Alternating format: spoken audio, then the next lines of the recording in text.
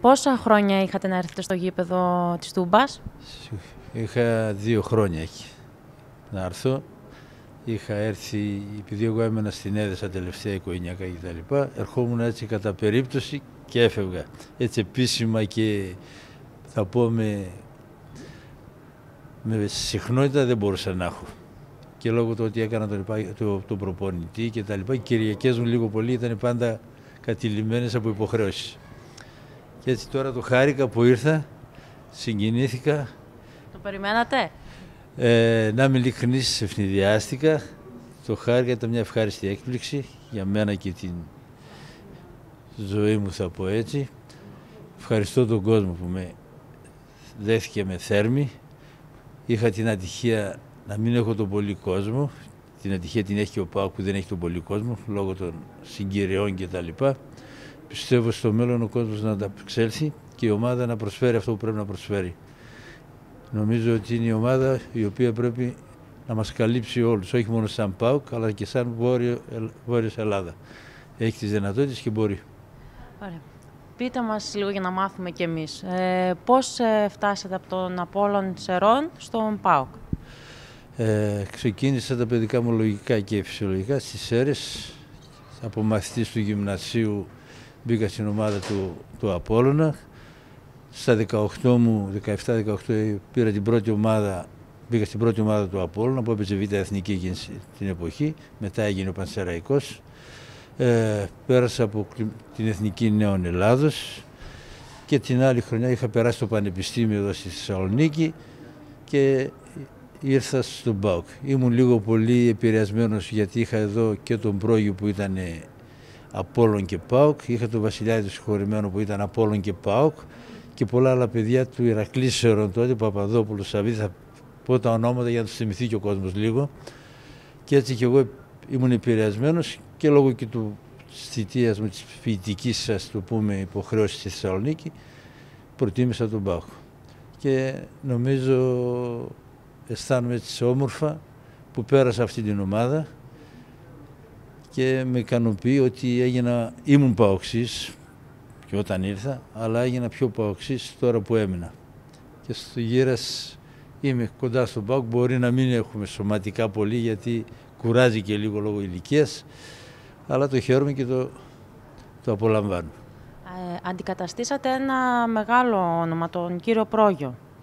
Ε, δυσκολευτήκατε στην αρχή μέχρι να σας εμπιστευτούν. Ε, βεβαίως, πάντα κάθε αρχή και δύσκολη που λέει. Φυσικά εγώ ήμουν μια ομάδα β' εθνικής, πάω και ήταν α εθνικής, αλλά ο πρόγειος εγκατέλειψε και μου είπε σου παραχωρώ τη θέση. Και όταν ήρθε ήταν και ο κύριος Μιχαλίδης, τον πω κύριο, συνάδελφος του ε, ξεκίνησε λίγο άσχημα, είχα ένα τραυματισμό σε φιλικά παιχνίδια του, της θερινής σεζόν, έμεινα πίσω, αλλά κατόρθωσα, επανήλθα και επανήλθα με ένα πολύ καλό παιχνίδι στην Κατερίνη, στον Πιερικό με 0-1, κερδίσαμε και ο κόσμος τότε με χειροκρότησε και με εμπιστεύτηκε. Γιατί αν δεν σε εμπιστευτεί ο κόσμος δεν έχεις, θα πω, την καριέρα που μπορεί να κάνεις. Και ο κόσμος με αγάπησε και με εμπιστεύτηκε και νομίζω προσπάθησα να τα απεξέλθω κι εγώ στις υποχρεώσεις μου. Ε, και έτσι έκανα αυτή την καριέρα που έκανα. Δεν ήταν τόσο μεγάλη. Ευελπιστούσα να είναι πολύ μεγαλύτερη καριέρα μου. Είχα ατυχία, τραυματίστηκα σοβαρά. Είναι το παιχνίδι που είχατε με τον Άρη. Ναι, και εκείνο το παιχνίδι με άφησε πάρα πολύ πίσω.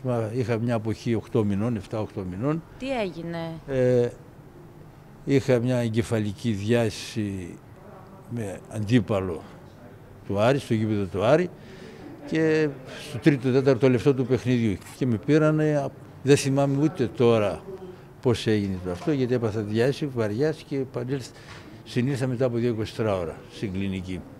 Και άργησα να επανέλθω και οι γιατροί με απαγόρευαν να παίξω, αλλά εγώ παραβίασα το κανόνα της ιατρικής και επανήλθα με τον κίνδυνο να κάνω. Ε, αλλά δεν πόσο καιρό παίξατε ακόμη μετά τον τραυματισμό; Και έπαιξα και μετά έφυγα στρατιώτης σιγά σιγά και δεν μπόρεσα να τα απεξέλθω τις υποχρεώσεις και έφυγα και πήγα στην Έδεσα, όπου εκεί έγινε η καριέρα μου και η λίγο συνέχιση την ποδοσφαιρική μου, προπονητική και έγινα οικογενειάρχης με δύο καλά παιδιά. Ε, λοιπόν, ποια απόκρουση δεν θα ξεχάσετε ποτέ; Ποια απόκρουση; Κάθε παίχτης έχει τις καλές και τις κακές του στιγμές. Μια απόκριση που θυμάμαι μία εδώ σε αυτή την αιστεία επάνω προς την Αγία Βαρβάρα. Ήταν σχεδόν εξ επαφής, πρέπει να ήταν με τον Εθνικό Πυραιός και ήταν στο 89 λεπτό, δηλαδή το, το σημείο του φινάλε και όλοι υπολογίσανε τον γκολ και εγώ βρέθηκα με την μπάλα έξω από την αιστεία, δηλαδή μια απόκριση πολύ της στιγμής. Και μία ήταν με τον Απόλλωνα Αθηνό κάτω στην Αθήνα που ήταν ένα από σέντρα βολέ, τώρα ήταν ο, εκείνης της εποχής ο Πορύχης, ήταν πολύ κάτι παιδιά της καλή παίχτη τότε του Απόλλωνα και εξ επαφής τη έπιασα την μπάλα και βρέθηκα με την μπάλα κάτω. Δηλαδή και όλοι μείνανε έτσι. Ήταν, αλλά αυτές είναι, ξέρεις, είναι στιγμές, ε, πώς θα πούμε, εκρηκτικές. Εκείνη τη στιγμή τις κάνεις και δεν τις αντιλαμβάνεις. Μετά όταν το βλέπεις και αν το... Εμείς δεν είχαμε την ευθύνη να τα βλέπουμε μετά. Τα βλέπω καμιά φορά σε φωτογραφία και αν είχε την ικανότητα ο φωτορεπόρτερ να πάρει τη φάση. Καλά, είχε πολλές φάσεις, όπως είχαμε και τις κακές μας φάσεις. Πάντα έτσι, στο ποδόσφαιρο. Α, πιο κακή. να μην την πούμε, να μην την πούμε την πιο κακή. Πιο κακή να μην την πούμε. Ε, και είχατε μεγάλα ονόματα, συμπαίκτες, ε, παίξατε με τον κύριο Κούδα, τον κύριο Λέανδρο. Ήρθε ο Λέανδρος, Κασιώτης. Ποιον ξεχωρίζετε. Ε, κοίταξε, και την εποχή που ήρθα εγώ ήταν ο Λέανδρος, ας το πούμε, και μετά μπήκαν τα καλά παιδιά, ο Κούδας, Αποστολίδης, που δημιούργησαν και τον μεγάλο Πάοκ, θα πω μετά. Και προσθεθήκαν και τα άλλα τα παιδιά και έγινε ο μεγάλος ο Πάοκ μετά το 70. Ε, ήσασταν με κάποιους παίκτες σας ε, πιο κοντά, ε, φίλοι; Ε, με όλους ήμασταν φίλοι, γιατί είμαστε λίγο πολύ όλοι, άμα είσαι πολλά χρόνια σε μια ομάδα, με όλους δεν είσαι. Και πάντα και τώρα ανταμώνουμε, μιλάμε, χαιρόμαστε που βλεπόμαστε. Είναι, έτσι ήταν η, η, πώς το πούμε, η νοοτροπία του εραστέχνη, γιατί είμαστε εραστέχνες εμείς. Δεν, δεν ερχόμαστε για ένα εξάμεινο, για ένα χρόνο για να φύγουμε. Πιο πολύ δενόμασταν συναισθηματικά και η φιλία ήταν γεμάτη. Και διατηρείται με πάρα πολλούς που τηλεφωνώ. Αλλά μια που το έφερες έτσι, αισθάνομαι λίγο άσχημα γιατί αυτή τη στιγμή έχω χάσει από τους 5-6 συμπαίκτες. Που πω και λίγο το Μακάβριο. Έχασα τον Μήτρακα, έχασα τον Νικολαίδη, τον Φουντουκίδη, τον Θεοφανίδη, τον Γιακομή, του Νικολαίδη, αν το δεν ξέρω αν το έχω πει, δηλαδή έξι παιδιά τα οποία φύγαν πρόωρα και λίγο πολύ έτσι στεναχωριέμαι πολλές φορές όταν οι αναμνήσεις γυρίζουν πίσω. Ήταν παιδιά που φύγαν πάρα πολύ νωρίς.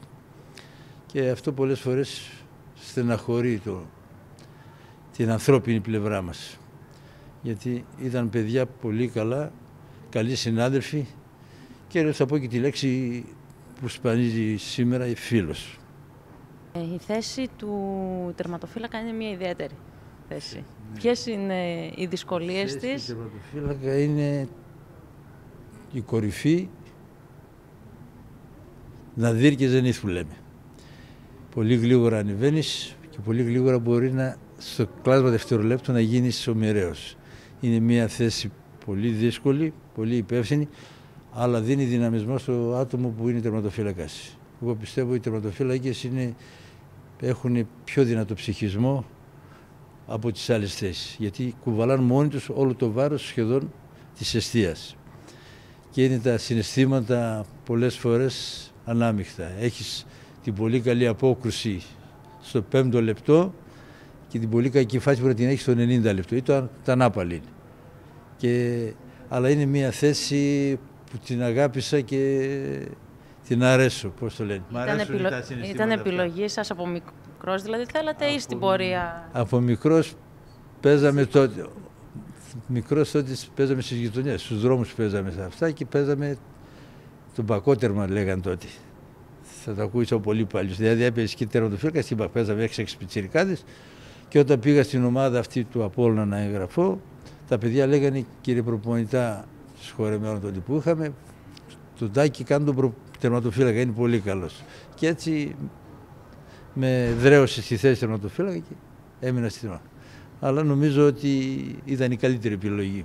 Μ' άρεσε αυτή η θέση γιατί είχε τα πάντα επάνω. Είχε όλα τα συναισθήματα και σε έφτιανε και δυνατό άνθρωπο. Γιατί πολλά πράγματα τα κατάπινες μόνος σου. Δηλαδή είναι μια θέση που είναι λίγο σαν μοναχική, θα πούμε, σαν τον αθλητή Στίβου.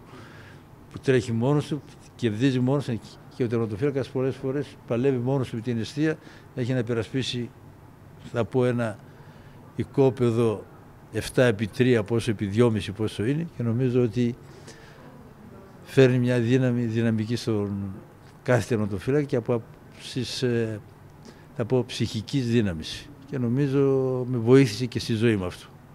Να ανταπεξέλθω και στις δυσκολίες της ζωής γιατί και η ζωή είναι ένα παιχνίδι, ένας αγώνας που παλεύεις και οι εμπειρίες αυτές με βοήθησαν και στην καθημερινότητά μου και στη ζωή μου. Και δόξα τω Θεώ μπόρεσα και κέρδισα τα περισσότερα, έχασα τα λιγότερα. Έτσι λένε. Ε, στο ΠΑΟΚ γνωρίσατε τέσσερις προπονητές. Ναι. Ποιον ξεχωρίζετε από αυτούς; Ήταν ο Μπαμπολτσάη για μένα, ήταν και σαν άνθρωπος πολύ καλός και προπονητής, ήταν από την Ουγγαρία. Τότε η Ουγγαρία ήταν πολύ ψηλά ποδοσφαιρικά, είχε, είχε γνώσεις είχε γνώσεις ποδοσφαιρικές αλλά παράλληλα είχε και καλή αυτή σχέση με τους ποδοσφαιριστές. Και νομίζω όλοι οι ποδοσφαιριστές τότε άσχετα αν παίζαμε, γιατί τότε δεν είχε και αλλαγές, μετά υπήρχαν οι αλλαγές, οπότε παίζαμε 11 όσοι, όσοι μένανε μέναμε. Και, και με τον Άρη έτσι γίνει. Χτύπησα εγώ και η ομάδα έπαιζε με 10 παίκτες. Δεν είχε δικαίωμα αντικατάστασης. Έπαιζε. Ποιος σας αντικατέστησε τότε, Ο, ο φίλος μου, ο Τάτς, ήταν σιντερμπακ και έπαιξε τερματοφύλακα. Και νομίζω αυτός, για μένα αυτό ήταν ο πιο, χωρίς να μειώσω τους άλλους ανθρώπους, όλοι είχαν την, τα προτερήματά τους, αυτά τους, αλλά σε αυτό στέκομαι ίσως ήταν και ο πρώτος που γνώρισα επίσημο σε αλφαεθνική. Πείτε μας και την, κλείνοντας και την ευχή σας για τον ε, σημερινό ΠΑΟΚ. Η ευχή μου είναι να πραγματοποιήσουμε όλοι σαν παοξίδες το όνειρό μας. Να ανεβούμε πολύ πιο ψηλά. Υπάρχει θα πω υποδομή. Σήμερα διοικείται ή στηρίζεται από έναν μέτοχο δυνατό. Από ό,τι καταλαβαίνω αγαπάει και τον Μπάουκ, τον κύριο Σαββίδη, τον οποίο δεν τον γνωρίζω. Παρότι τη μάνα μου τη λέγανε Σαββίδου. Θα και λίγο να το πετάξουμε γι' αυτό. Και η ευχή μου είναι να γίνει πρώτος, όχι στη Βόρεια Ελλάδα, στην Ελλάδα. Έχει τις δυνατότητες, έχει τον κόσμο του, πολύ πιστό κόσμο, αγαπάνε οι παοξίδες πάρα πολύ γιατί είναι, επειδή και εγώ είμαι πρόσφυγας, η ιδεολογική πλευρά είναι ισχυρότερη δύναμης και νομίζω ότι θα τα καταφέρει ο ΠΑΟΚ και ευχή μου είναι να τα καταφέρει για να χαρούμε όλοι.